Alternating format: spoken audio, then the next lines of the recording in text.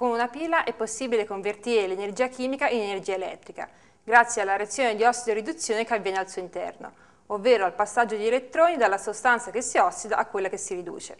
Vari modelli di pile sono stati ideati basandosi su diversi tipi di reazioni di ossido-riduzione e anche le moderne pile ricaricabili utilizzano una reazione di ossido-riduzione reversibile, ovvero una reazione in cui è possibile rigenerare i reagenti iniziali somministrando energia elettrica. Vediamo adesso come costruire una pila in laboratorio.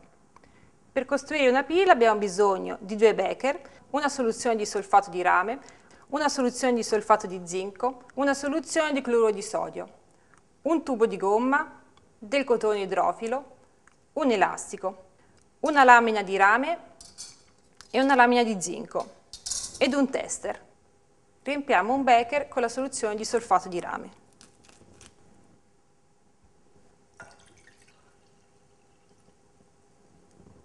E vi introduciamo la lamina di rame. Riempiamo l'altro becher con la soluzione di solfato di zinco.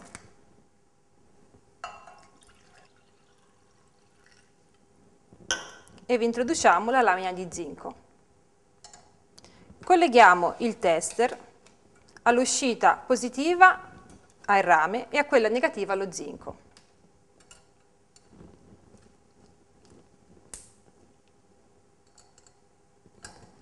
Il nostro tester segna 0 ovvero non c'è passaggio di corrente. Che cosa è successo? Abbiamo dimenticato di introdurre un altro elemento, il ponte salino. Vediamo adesso che cosa accade inserendo il ponte salino e prepariamolo.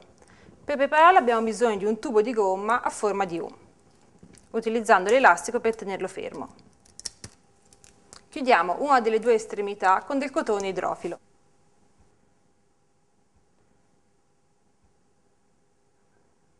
Versiamo nell'altra estremità la soluzione di cloruro di sodio.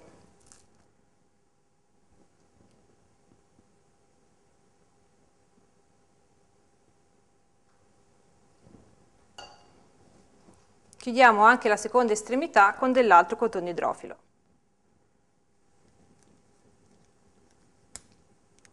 Inseriamo il nostro ponte salino nella nostra cella in maniera tale che un'estremità vada a contatto col solfato di rame e l'altra col solfato di zinco.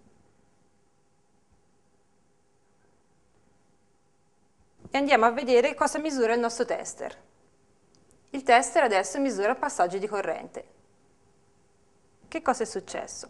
In questa soluzione lo zinco metallico ha perso due elettroni, secondo la reazione.